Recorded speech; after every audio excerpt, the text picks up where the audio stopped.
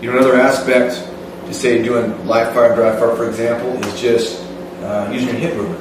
Like I made a special little barricade, know, just these ports, and I just gotta move my body because I found I think I have a real deficiency of getting from one position to another. Even my feet aren't moving.